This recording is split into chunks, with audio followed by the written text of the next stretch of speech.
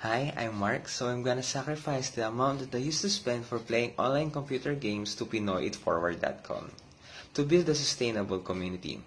Small sacrifice can produce big changes. So for this, I nominate Michaela Flores, Alanis Medina, and Rosel Gucan. One sacrifice, one Filipino spirit, Pinoy, it forward.